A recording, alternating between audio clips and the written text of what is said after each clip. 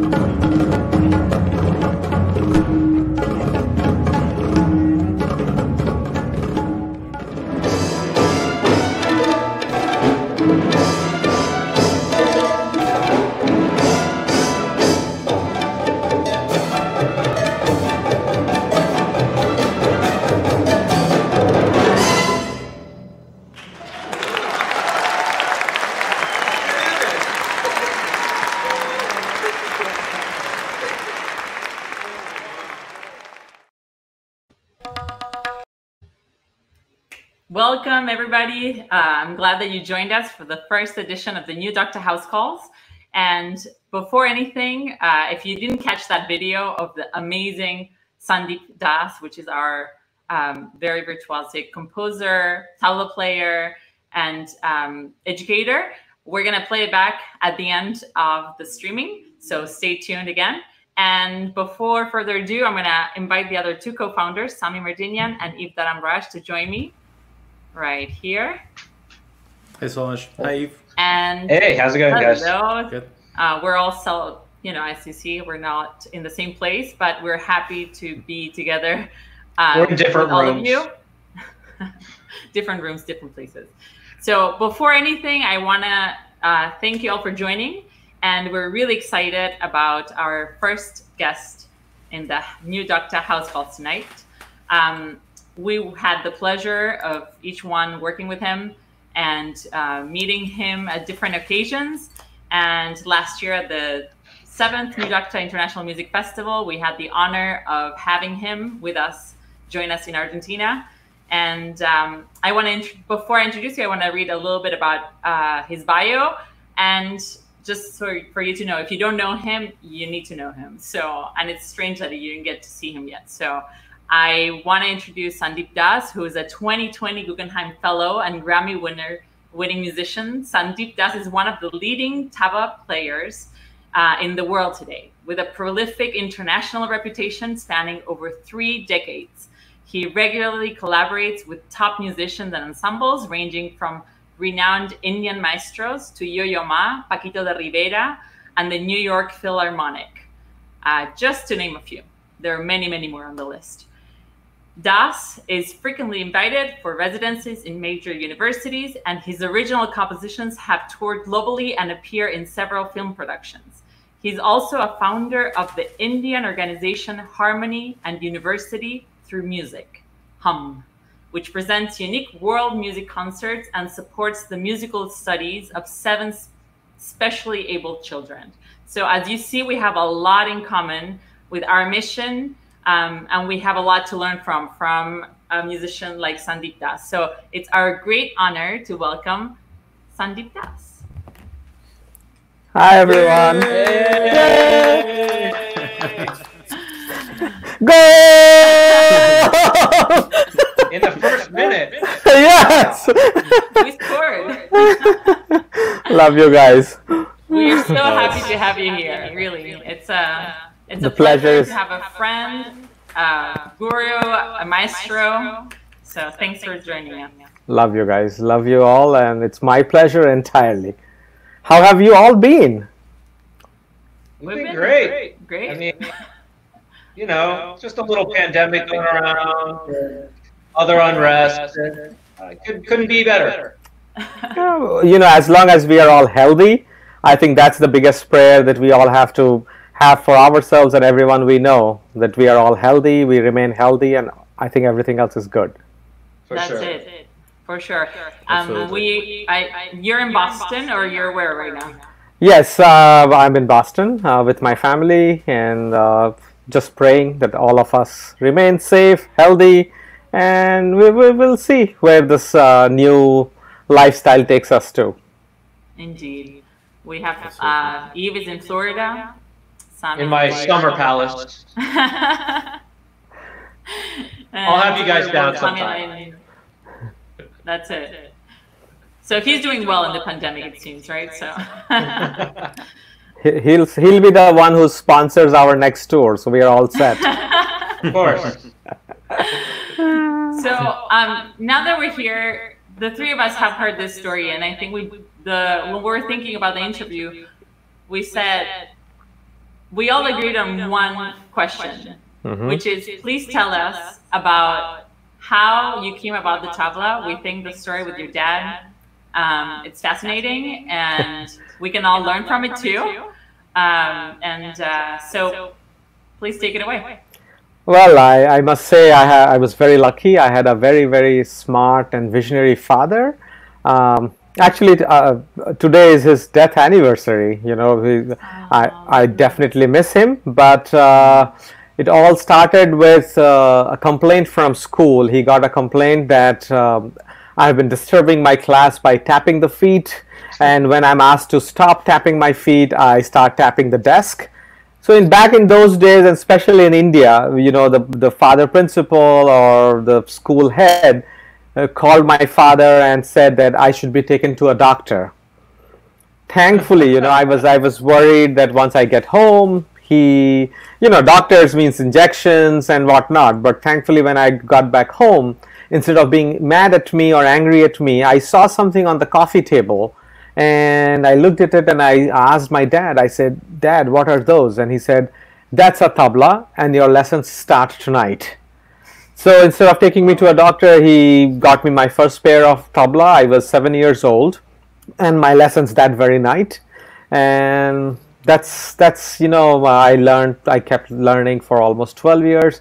That's a separate story, and, and yeah, that's how uh, there's a saying in India: the instrument chooses you. Uh, so the instrument chose me when I was seven, and I I'm still in love with it.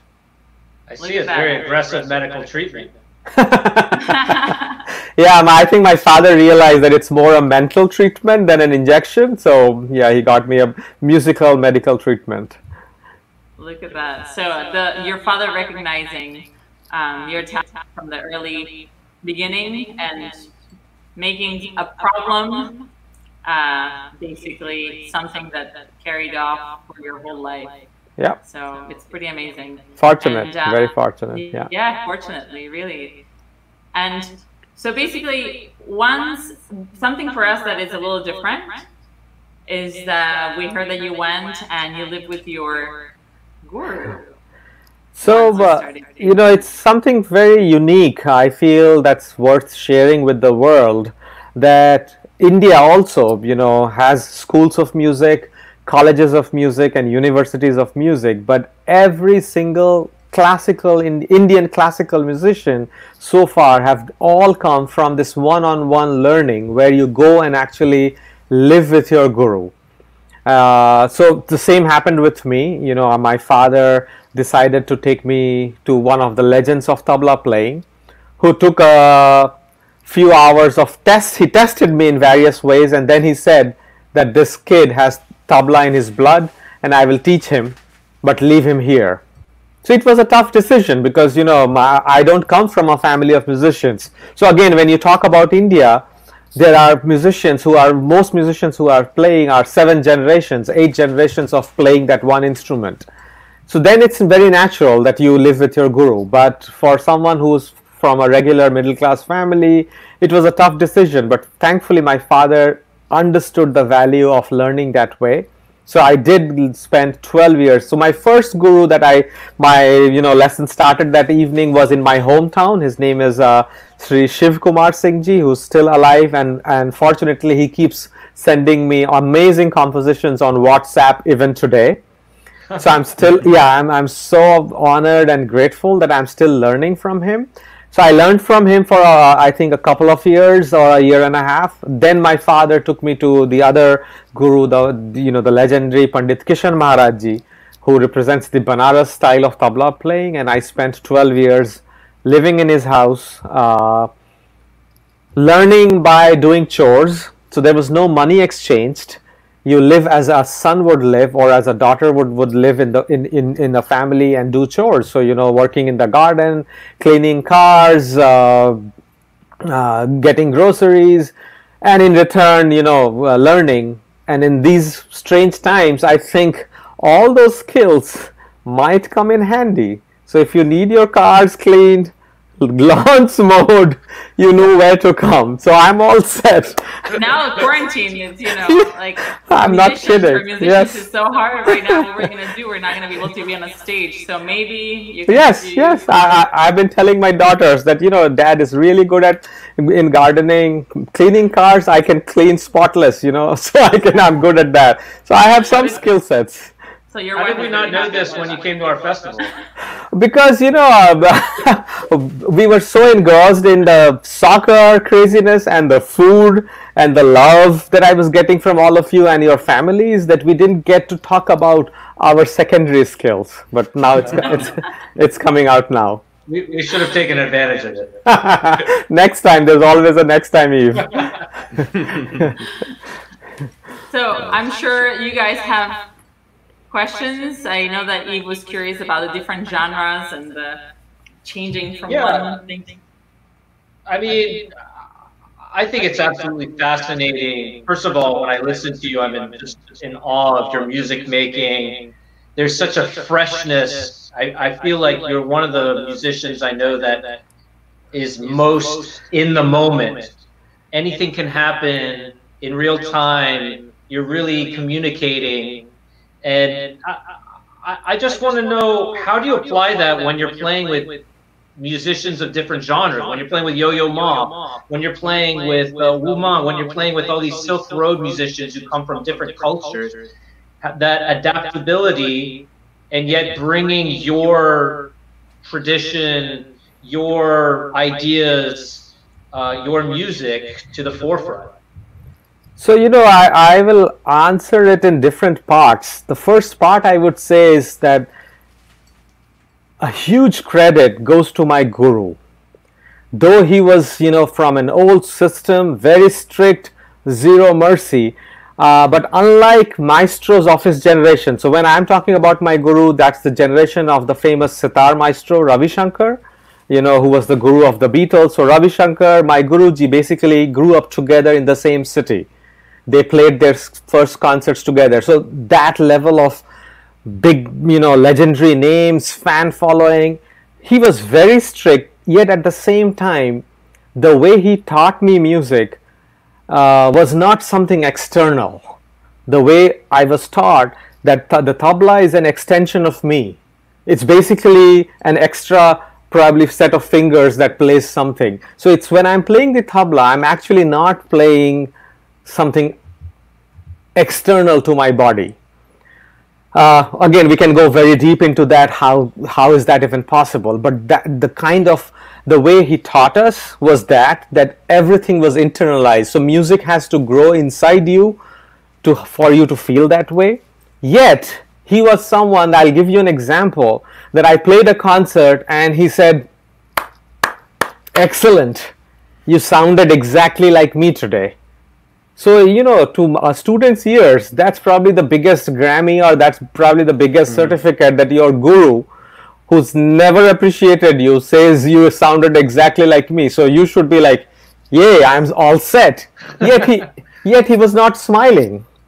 You know, he, he, he kept saying that and he clapped and yet he was like, you sounded like me. You were exact, you know, you were just like me today. Yet, you know what happens to Xeroxes, and he was constantly pointing at something in the corner of his room. And you know, I, I, I it took me some time as a 14, 15 year old kid. It's like, should I celebrate? Should I not celebrate? What is he pointing at? And by the time I realized he was pointing at a trash bin, and then he looked at me and he said, Xeroxes,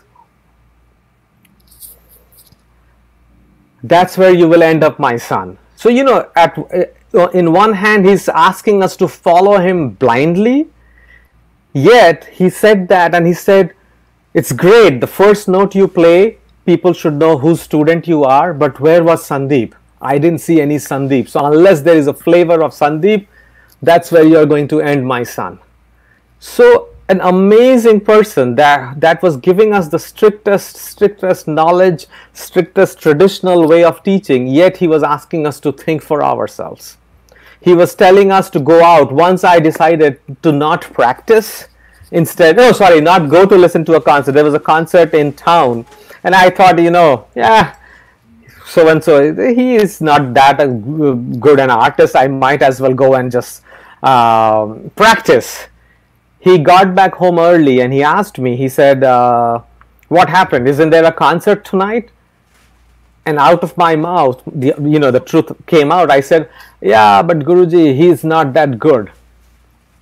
That was bad news. Uh-oh. he said ah. he said oh so you think you have become this good that you can decide who's good and who's not bad? Until and unless you go and see what's happening in the world how will you know how bad you yourself are? Hmm. So from tonight I don't care who's playing in town. If I see you in my house, that will be your last night in the house. So you know his his uh, his way of telling us to go out, listen to the world, his way of making us think where is the Sandeep. Also, another example before I will move to the second section is, you know, they had contemporary tabla players who they were known as rivals that you know so and so these they were the three top tabla players and in a way professional rivals. Yet i remember one night he said he did this to me he snapped his fingers he took me to his living room played me an album from a movie track and he said this is the best nadhindina it's a phrase that you play super fast. He said this is the best nadhindina you will ever hear my son. Hear this put it in your heart and go practice it was not his Nadin it was the Nadin of his rival tabla player.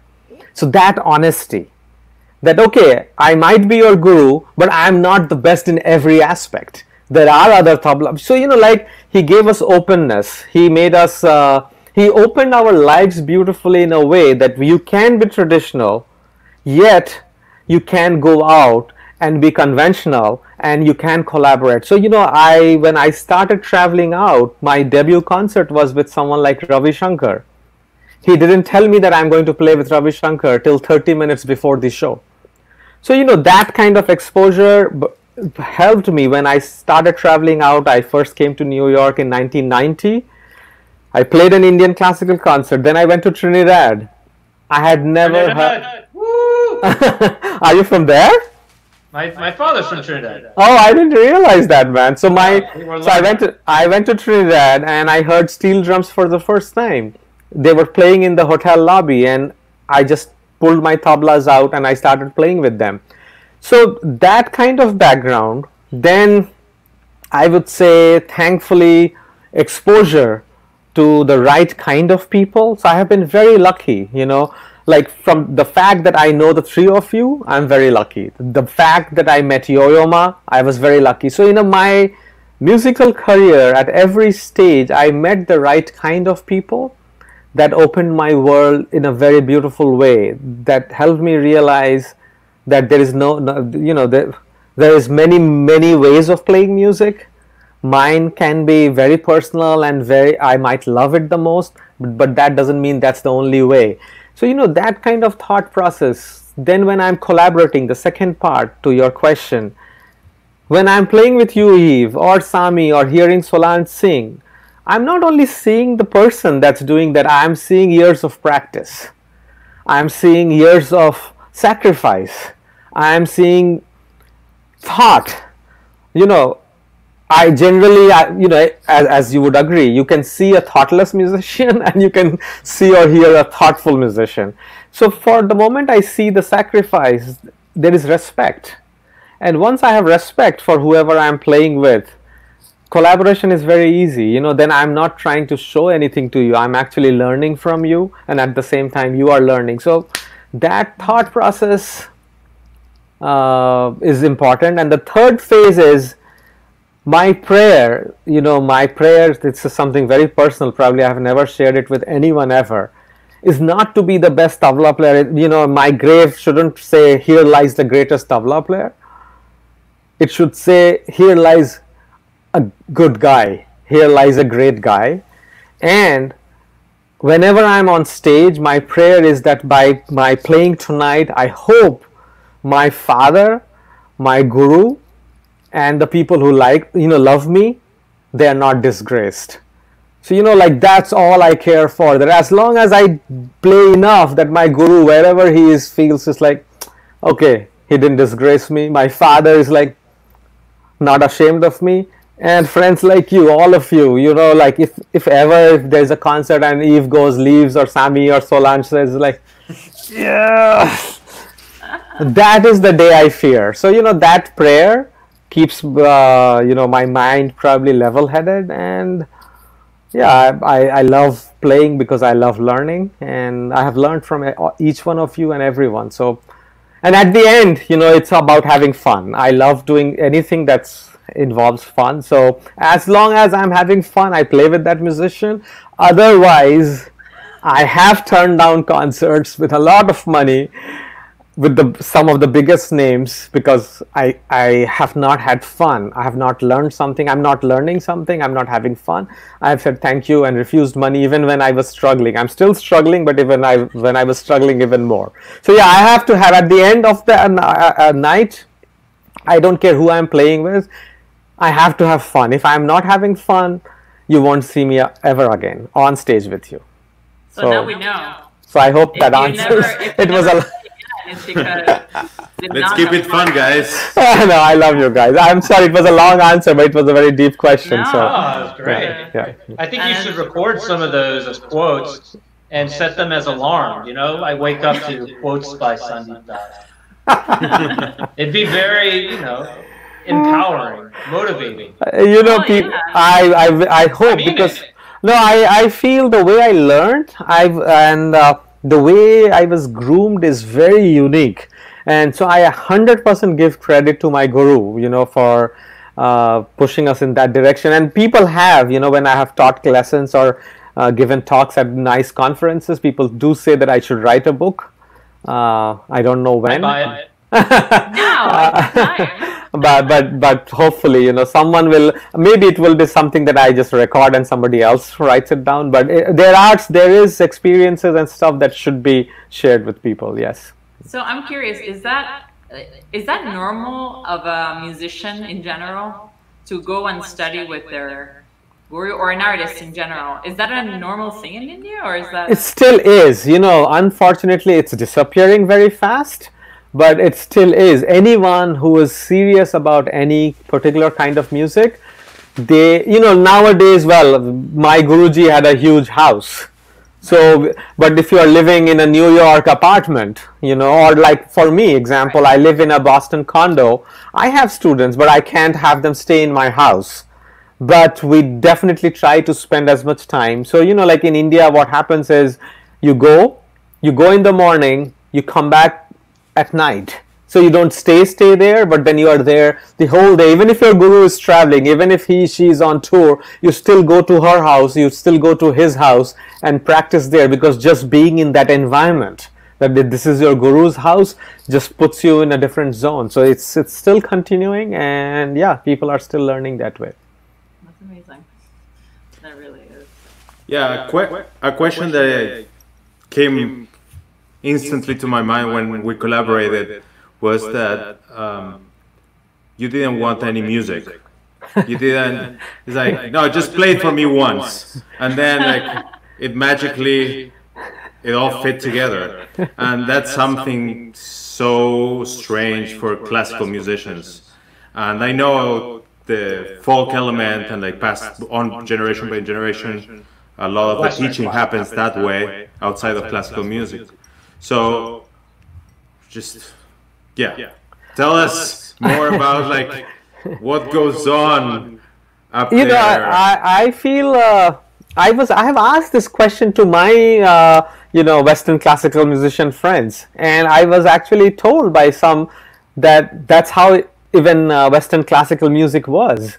This whole concept of writing is much later if you guys might correct me if i'm wrong but that's what i've heard that it, this was not the way. You know it was only a means of sharing information but now probably the page the paper has taken precedence over over trying to memorize things. And also at the same time you when i'm playing with people like yo-yo i don't think he's reading. Or you you guys you know I, I, like i've seen yo-yo's uh, scores are he asks his office to make it so small so that he doesn't have to flip pages so mm-hmm. first of all they are very tiny and then throughout his concert the more he gets into the mood the more i see him pushing the stand away with his feet and so I think for me, it's the way we were trained. Everything is taught orally, you know. Uh, let me give you an example. Why don't you guys repeat, you know, da da din din. Say it. Da da din din. Yes, da da din din na na te te te te. Da da din din na na te te. We so, that, so because of the lag, but the point is you already know a phrase, and if I make you repeat it five times, it's like you know the child uh, you learn nursery rhymes as a kid even before you learn how to read it. You know jack and jill twinkle twinkle just by your mother or your father repeating it to you. And probably those are the rhymes that you still remember whereas stuff that you read later you have forgotten. Same thing you know everything i learned for 12 for 13 years was taught to me orally first. We were not allowed to write things down. Thanks to that every formal lesson that i had is lives with me breathes with me sleeps with me eats with me. Anything that i wrote down first from a fellow student saying hey hey solange what did guruji teach you yesterday? And solange loves me so solange says okay i'll teach you that and she teaches me something i write it down I have forgotten half of them. So, in a way, our ears are trained that way that anything I hear, I'm able to make a sketch. So, I hear it once, I'm able to make a sketch. Second time, if I hear it, or within the first time, I'm able to put the eyes, the nose, or the lips. Third time, I color it with my hands. The good thing is that I can fake it enough with experience that you think I'm playing it very well but if you ask me to repeat it, or if you ask me note by note, I can't do it. Hmm. So, good or bad, even my own pieces, my last piece, King Ashoka, is completely written down. Uh, whereas the other pieces, even if I'm playing it every night, it will be different because I'm not reading every note. I'm trying to color it differently. So both good and bad. You know, it's it's uh, it's part training, part openness and sometimes I take help you know like for my tabla concertos the entire orchestra is reading a piece that I'm supposed to play as a soloist. I'd have gone to friends and said hey, hey can, Sami can you help me with this phrase? And I've then cheat you know I make my own notations uh, some you know faces squig smiley faces sad faces angry you know. Deep score. Actually yo-yo has made photocopies of some of my scores. I don't know what he's going to do. It probably put it on ebay for two dollars later but he has always he's found found my scores very funny and he's taken you know made made copies of those. So yeah it's part training and part help from friends and uh, i fake well let me be honest or you improvise really well. That's it. also, Well, you know, I I, I would like to be able to fake like you. you know, I also feel uh, probably, you know, when you are not just focusing on your on your score, you are hearing the piece as a whole. I sometimes hear and see things very differently from how people like you who are classically trained see things because I exactly know why the uh, why the uh, composer has a timpani coming in there because that ping ping is relates to the harp. Or the harp that particular chord is actually playing off of the bass line. You know because i'm not hearing just my score or i'm not focusing. So somehow i am looking at the bigger picture and putting in my small things in there to fit. And i think for you guys it's the other way around that each one of you do your parts so beautifully that the puzzle then comes together and becomes a big big picture if that makes sense Well, I guess like the one thing that is in common is they always say if you have your music memorized, then you can actually pay attention to other things, right? And that's why we try as classical musicians to get to a level where we're also trying to memorize what we do so we can pay attention to other things musically. Um, we do it in the process as well, but that, you know. when But can I go ca- to a recital- Can I tell you something funny? I understand exactly what you guys go through because the few pieces that are actually written and I have to play, like my the tabla concerto, one of my favorite, written by Dinuk Wijeratne, who's I think from a fellow Juilliard uh, musician, amazing composer. I have played that piece so many times that I know that piece start to finish. But since I started by reading, reading it, I have never had the courage to do away with the piece of paper. Every time I'm like, hey, Sandeep, you know this piece, do away with it. But then I'm scared. What if I forget this? So I still have the score and I still flip through it. So I totally understand, you know, what you guys go through. Even if you know this piece that you have been playing since you were six years old, it's just just habit. Then probably becomes habit to have that as a safety measure. So yeah, I have tremendous respect for that. Yeah, it's very interesting. So um, now changing a little bit from the musical aspect, um, I'm very curious about when you moved here and how was the adjustment and the differences between living in India and here and um, the challenges also. You have two young daughters, um, you know, and we are all from different countries or backgrounds. You know, Sami and I, we moved here when we were young. Yves, his parents are both from two different places, and um, being immigrants, it's you know, it's it's quite an adjustment culturally for all of us. So So you know, I my first ever flight or travel outside of India was to New York, 1990. So I have been coming to the US since then and very very frequently. But I never lived here, as as you right you know pointed out. So I would come, play, go go back. But in the process, I did make a huge circle of friends. You know, both Indian Indian classical concerts, jazz concerts. You know, I played with all sorts of musicians. Then Silk Road happened. So for me personally, it wasn't such a big change because I already had friends. I would say it was a bigger, much bigger challenge for my wife and daughters who were not little, you know, as such. My my oldest daughter was mid ninth grade. My younger one was still younger. Uh, so I would say the biggest challenge was for my wife that we uprooted a completely successful, happy family career life and moved here literally overnight. You know, I applied for a green card, got it in six months, and we moved here. You know, and so I would say the challenge was bigger for them than me. I I start you know I on the fifth day of moving here I left for a concert tour to Beijing. It was the second or I think the worst Oh, yeah it was the worst I think or the second worst snowstorm ever in the east coast that my wife faced alone with two girls in the US. So she says that you know I took her on a cruise, left her in the mid mid ocean and said bye bye, you know, and took off. So poor woman, she faced that. She had never seen snow.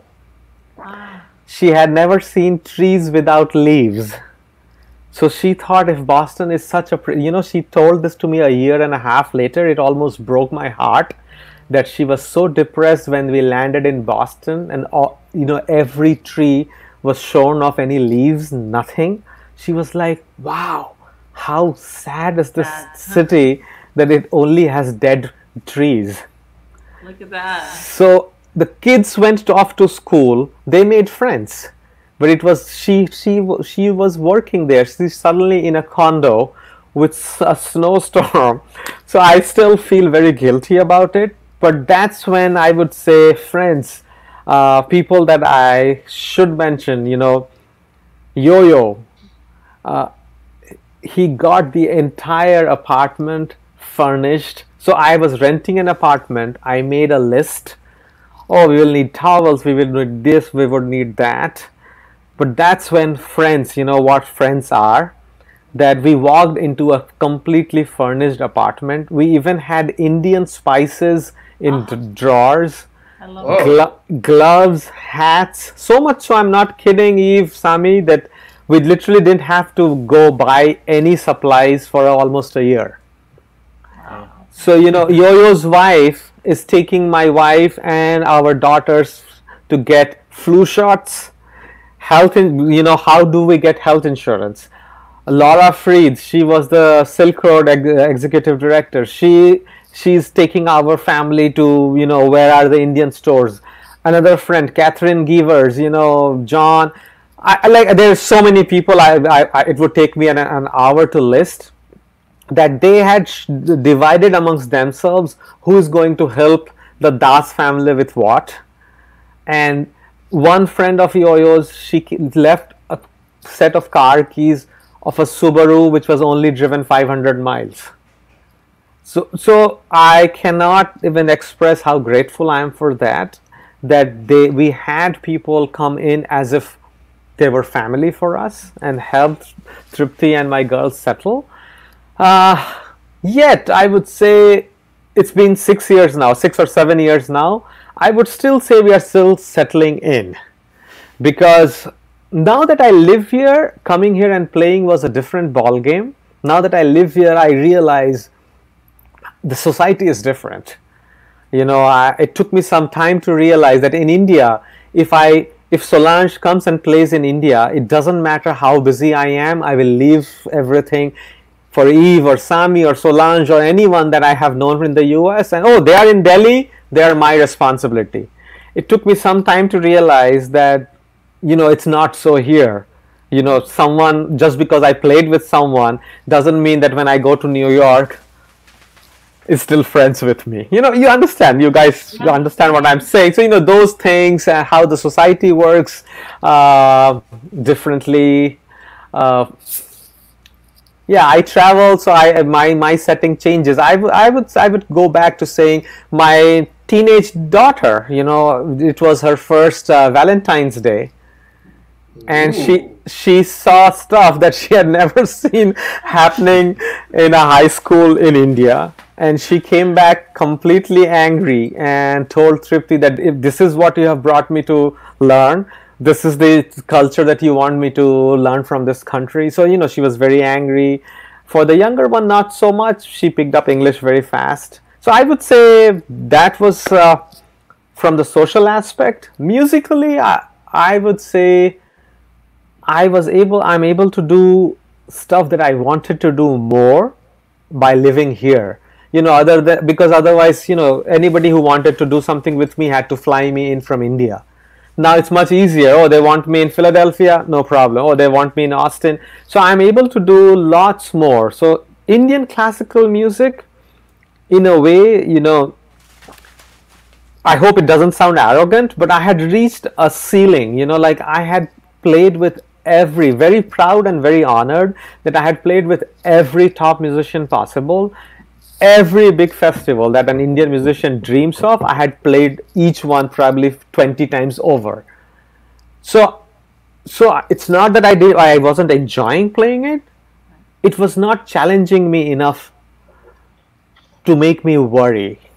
You know, I love to be not able to sleep at night because I, I want that fear of failure that I might fail tomorrow because I feel the day that fear is gone, uh, you, your life as a musician is over.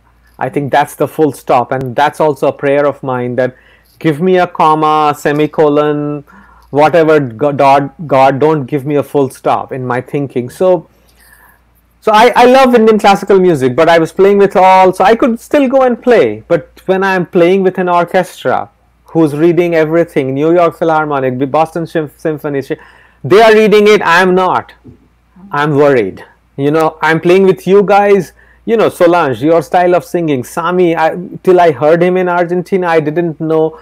You know, I, I forgive me if it's wrong. The Armenian style of playing, you know, the some of the songs mm-hmm. you played. It's like it's mind blowing. Yves, this handsome dude, Yves, you know, like if he's even speaking in your language, you know, so like for me, those are things that keep keeps me excited and keeps me humble.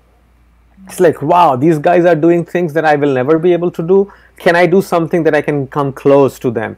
So that fear, experimenting with musicians or writing for people who don't know my tradition or working with people is exciting for me. So I was able to do that. I'm able to do that. So I'm very happy about that. That I still go to sleep with that fear of failure. Nervous before I, I want that little bit of nervousness because comfort zone too much you're all you're you're, you're dead. So yeah that's that's kind of my experience and but i live in the east coast. I probably because of music i have always met as i mentioned earlier awesome people. They have all been helpful and these seven years have passed. Hopefully however long will also pass uh, happily. Wow. so is that fear of failure why you like golf so much sorry is that fear of failure why you like golf so you, you know, uh, I hope the Golf Channel interviews me someday because to me, music and golf are absolutely the same. Nobody cares, Yves, how well you've played yesterday. It's always about tonight's concert. Golf is like that. Your last shot is the last shot. It's about the shot now. But at the same time, even if you played a bad concert yesterday, the sooner you forget, the better you play tonight. So absolutely, I love golf because for me, uh, it's hundred percent uh, a musician's life. If musicians played golf, we would beat any of these top players. I'm not kidding. There we go. Yeah. That's so, top advice. yeah. So I want to take a moment to apologize for people that we don't have the live chat. I don't know why it's not working today. Uh, we'll try to fix it for next time. But if you have any of our phone numbers or through like admin at newdocta.org, which is our email, you can like send something really quickly. And I actually have uh, one uh, that came through a text right now from California. And they're asking if Sandeep, you have a plan to give a virtual concert in the near future. So there is a plan for Tanglewood, the famous uh, venue in uh, New England. Uh, since they cannot do their concerts uh, live this year, as we all know the reason why, they have asked us to record uh, and send some stuff. So I'm in the process of recording with a very famous musician, and I'm not supposed to give the name out yet. And another colleague of mine. So yes, the, that concert. So it wouldn't be live, live per se. It will be recorded, but uh, Tanglewood uh, will, will premiere it. Will premiere it uh, very soon. So that is coming up. And other than that, there is stuff already that's been uh, live telecasted that they can all search and, and, and see it, of course, on Facebook and Instagram YouTube and YouTube. Instagram. Yes. Great. Yes. Um, I know it would stay talking so much, but there are two things that I would love for you to talk about um, that we care about. It's uh, HUM, the humanitarian, um, and also your camp. Okay. when will you talk about Argentina? I'm dying to talk about your country. Okay, let's do it now and then jump to that. yes, yeah, I loved going to Argentina, man. I'm dying to talk about that. so, what do you take away from your experience there? Uh, you know, the first thing I would love to say is uh, living in India, it's Argentina, Brazil seems so far that it almost seems like another planet. Yet, it's amazing that we have always felt very connected. you know, the two of you and Yves, because he's so connected with that country, uh, I, I keep forgetting that he's not from there. You will be surprised Yeah, to know. here. uh, you My, know, you'll my be accent's not a giveaway. you know, you will be surprised to know that the entire India only supports, unfortunately, also a rival country of yours, but the entire country supports only two countries whenever World Cup soccer is happening either Argentina or Brazil. And only if these two teams are not doing well, then my country moves to some other Latin country, a Latin American country first. But even so, growing up in India, you know, we used to know the jersey numbers of Argentinian players, even reserve benches. So for me, Argentina means soccer, and I, I played soccer. I even captained my school team and then in soccer growing up and all that. So you know, for me, it was a dream. And I, the closest to Latin America I had been was Trinidad and Tobago. So when Solange and you guys invited me, I was like, yes, yes. So very selfishly, I just wanted to go to the mecca of soccer.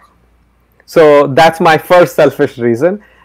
I love you guys. you That's were you were a Brazilian fan, and then we turned you into an Argentinian, or no, no, no, no. I, I love. Listen, uh, I never saw Pele play, but I when I was growing up, I saw Maradona play, and man, I I've been uh, like for me, he was the god, and now my current god is Messi. So yeah. all right. So yeah, so yeah. So Argentina, and I remember, I, I think it was Yves. I told him I will go only if you take me to a soccer game, and something like that. so, so that was my first reason. Love for you all, of course. The my biggest takeaway is that from the moment I stepped out of the plane into the airport till I left, I actually didn't even feel that I was not in India. Which for me is the biggest biggest amazing factor you know like the love that i saw from your families you know papa Merdinian you know mami Merdinian your brother your grandmom and her you know scotch. Oh my god i love that and and you know your grandpa your extended family and yves speaking in the local language the food, the, the choco torta. Oh my god! And, and, and what was that that we had at the soccer uh, uh, chorizo? Choripan. Choripan. Chordipan, yeah, chordipan. The, the food, uh, the you know the people are relaxed and and people are friendly, and I it, it felt there is less stress. Though I could see poverty, you travel to India, you will see poverty. And one of my closest friends who went to India the first time, he the first thing he said, he said, Sandeep, people seem to be much happier. So I, I would say I saw love. You know what? I saw India. Ha- What else can I say? away, you know, Yes, away, I, I, I know, just saw I just saw a cousin or a brother, you know. So I, I saw India mirrored in, in Argentina and the love I got from all of you and the work, you know, like the happiness of seeing the work you guys are doing. With the you know the orchestra Violeta, I, if excuse my pronunciation, Violeta Parra. Para in Bengali, my mother tongue means neighborhood. So I don't know what it means there, but you know, like in in, in my translation, it will uh, it, it would sound orchestra of the neighborhood, you know. So going there and seeing the young faces, but their teacher, the passion, the passion with which they were teaching, and the passion with which you guys were, you know, sharing your experience going to that Armenian church, um, uh, the Sala Sala Siranush. Yeah, well, we had eight schools together from, That- from places so- around so- the neighborhood. Yeah. They were so loving, so caring, and then the um, food, you know that that pizza thingy. What is that called? Oh, lamajun! Oh my god! that and and uh, I remember River Plate, of course. River Plate, the mecca of soccer. You know, going there and those young kids. And I actually asked one of them to dribble a ball towards me, thinking, "Oh, come on, this is a five-year-old kid." And with one jerk, he, he dribbled past me, and I was like, "That's why Argentina is so much, you know, ranked higher in world soccer than India." so, you know, seeing that and uh, the, at the at the main theater, you know, the li- theat- Teatro del Libertador. I don't know how. Yeah. Yeah. Yeah, all those soccer rugby players. Spanish. Oh no, it's it was it was incredible, and I, I can just say that what you guys are doing uh, is is incredible, and it's no longer an option. You know, it's not even an option whether I want to do this or not, and that leads to hum. You know, like hum uh, is uh, hum actually means we in my language. In Hindi, hum means we. So I call it the power of we, and the full form is harmony, universality through music. It was inspired by Yo-Yo's Silk Road we were walking uh, in Chicago for to a press conference, and it hit me. What am I doing to carry something so beautiful that Yo-Yo has started? And I very, I felt very selfish. It's ten years now. I felt that oh, you know what? I'm having a great time, but then I'll go back home and I do nothing about it. That was a wake up moment. I went back home and I decided that okay let me hit the rewind button i played a concert for uh, specially abled kids in very early in my career without knowing that i'm going to play for them so i had asked for a fee and they had said yes it's only when i got up on stage and i pulled out my instrument two specially abled kids came and gave me a flower bouquet that i realized that this concert was to raise funds for them I refused the fee. I said I cannot take money. And I wrote, I told myself that if I ever reach a position where I can do something, I will do it. So, you know, fast forward 10 years from now, when I went back to India, I was like, let me see if I can do something now. And maybe you would know that India has the largest number of visually impaired people.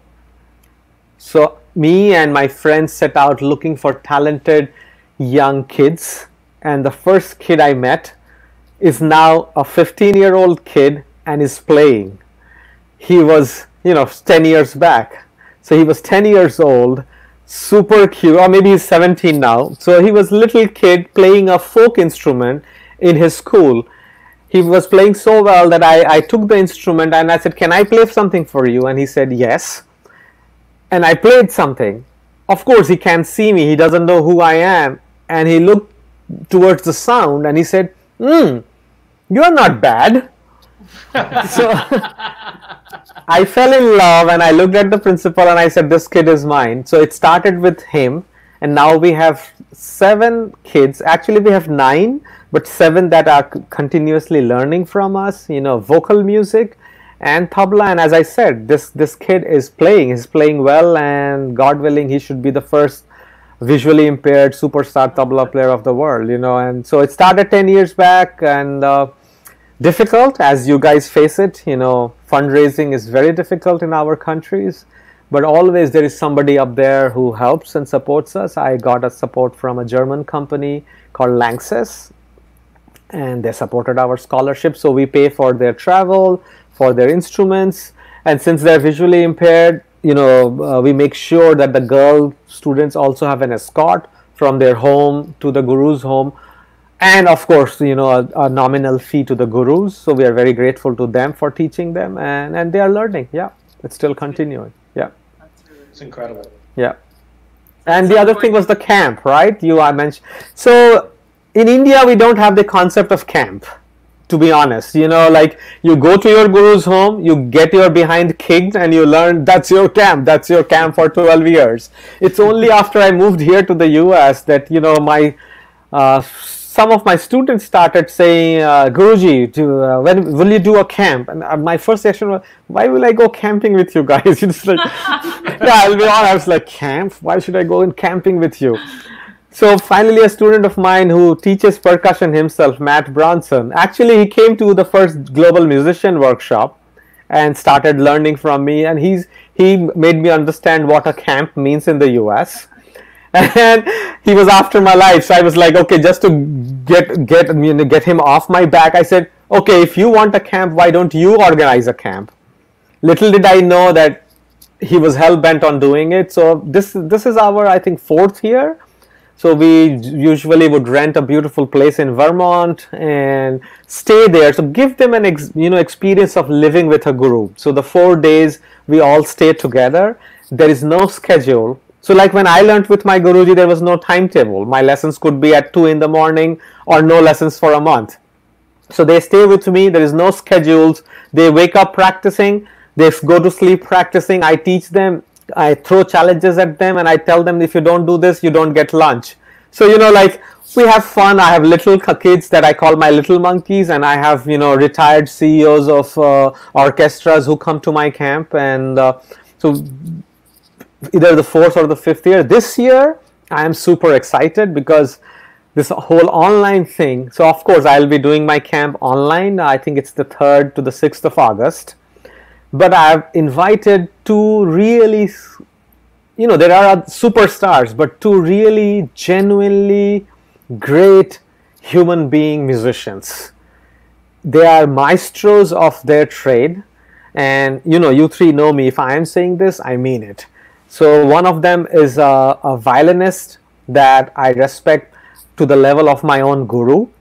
Uh, his name is Dr. L. Subramaniam. He's a fantastic, fantastic violinist, composer. He's an MBBS doctor, but on top of that, a great human being. So, I really hope people come because they asked me, Dr. Subramaniam is so sweet. He said, Sandeep ji, what do you want me to teach? And I said, you know, there is no curriculum. Whatever you will say will be invaluable for anyone who's there. So you say whatever you want to say. So he started laughing. Okay, we will see. Same thing. The other musician uh, I have invited, she's like my older sister we literally started our career together 1990 i was introduced by a common friend traveled by bus traveled by train traveled by you know like all sorts of modes of transportation fantastic singer a female voice that will wake you from the dead a female voice that will make you turn your head. You know solange a voice like yours that that i'm not kidding that demands attention. Well read amazing human being supremely intelligent. So i have these two amazing gems you know like people in the us or anywhere else they, they wouldn't get a chance to hear them talk for a, an hour and a half. So out of the four days they will be on for two, you know one day each an hour and a half. I can't ask them for more. And uh, yeah so i would love and beyond that of course i will be teaching. And i have a sitar faculty a fantastic young guy. His name is Rajib Karmakar. Young guy who wanted to become an engineer. Destiny brought him to the us to study engineering he's ended up being a sitarist his father was a sitarist so he always played sitar and he's playing sitar, but very tech savvy like you guys, and but amazing musician. So I had invited him last year to be a faculty, and everybody loved him so much that I'm I've invited him back. So he will be talking about the raga and you know everything else, and me whatever little I can share. But these two top level musicians, and so the three of you are most welcome as my guest to come join. And yeah, yeah, I'll be on, I'll be honored to have you there. Yes. Thank you. I'll be and there. Any, anyone else? Yes. Yes. And anyone uh, viewing this, uh, check or it later out. on. Yeah. Um, we'll put uh, in our social media links to the camp so you can check it out. But uh, yeah, we'll be there. Incredible work. So before we finish this, we would stay talking so much more. you know. Can I can I say a quick thank you to one person that really also had an amazing impact on uh, my trip to Argentina, beyond uh, Papa and Mommy and all. I want to thank Beta Bond. You know, I James Bond. I named her Beta Bond because she would appear in the most unexpected places solving problems. And so wherever you are, I love you and thank you for being so awesome. There you go. And so everyone knows, Betania is someone that has worked with us at the festival for the last six years. And she works on the logistics and much more to make sure that the festival happens smoothly. Oh, and one more thanks. Can I give one more thanks, please? Of course. You know what I found very touching was that restaurant that opened us opened up for us to oh. rehearse. Please thank her. You know that that lady and that place, the ambience of that place. For me, that's India. that you know strangers will open their doors and say, "Hey, come on, this is your house." So I'm, I'm, I'm please apologize that I uh, forgot her name, but please thank her and her venue. And of course, there are so there were so many other people. Every guy that drove us, everybody. But that place that gave us that sweet spot to practice, please thank her. Yeah, that's uh, like one of those things that happens. One Yeah. place got canceled, and then that little venue came across, and she opened her Yeah, yeah. restaurant while she was closed, just Yeah. for us to rehearse there. I'll never forget that. Yeah. So, thank you um, for joining us again. If we can get lessons from today from Sandeep, our, you're always a student, you'll keep learning, right? Even if you're at the level that you're at, you're still humble. So, thank you for being who you are. We And never go to bed relaxed, right? Right. Always looking over your shoulder. Love you guys. Love you. Keep doing what you guys are doing. The world needs more people like you. Yeah. And that's Oh. it. Like I think, like you said, all of us we are responsible to do some humanitarian or social, or educational um, venture with our lives. It's not enough to just be a musician anymore. Yeah. And um, we have the duty uh, to actually make an impact, if possible, even if it's one person. And um, I think it's important as a person to do it, and hopefully for the other side as well. But it's um, it changes you as a human, and I think we all can agree on that. That when we give something from an honest place, it brings you something that you never would have experienced otherwise. So. Um, thank you, Sandeep. Thanks for being Thank who you. you are. Thanks for having joined us to our first New Docta House call. You are the Good best luck. guest so Oh, good far. luck. No. Love you. Love you. Love you. Come on, say I'm the best. Come on, say it.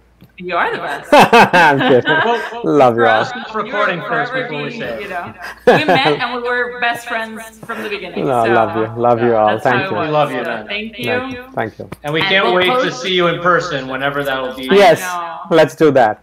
Yeah. Yeah. And make some music together. Yes, yes. Always humbling and so great to be around you and learning from you. Well, same Uh, here. love it. Likewise. Likewise. Li- love you guys. Just even through the screen, you're like making us better person just listening to you. I, I wish my you, I. I, I wish my wife would say that. Quotes by Sandeep Das. I'll wake, I'll wake up every morning to that. I love you, man. He's starting a podcast now. You know, I, I wish I was only half as handsome as you, Yves. My world would be all set. Oh, sounds like your world's pretty set. So thank you again. We're gonna finish with the clip that you had we put at the beginning just to have it, and then check out Sandeep's social media, the camp. We're definitely gonna be there. Um, his cause, um, and thank you. We're probably gonna see another New Docta House call in about two weeks. So sending you a kiss Thank you. Thanks, all of you. and thank you again. Ciao, ciao. Till next time. Bye.